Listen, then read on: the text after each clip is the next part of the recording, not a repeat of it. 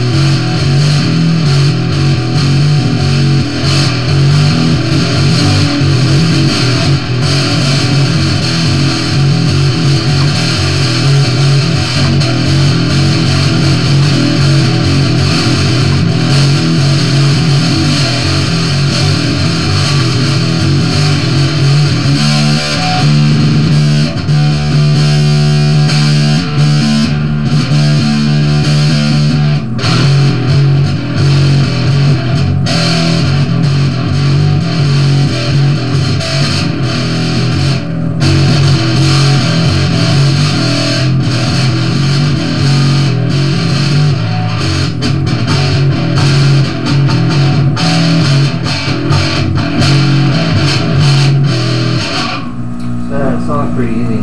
Just, it starts off with uh, the A, slide down to the fifth fret on the D string, on the A string. You're in the open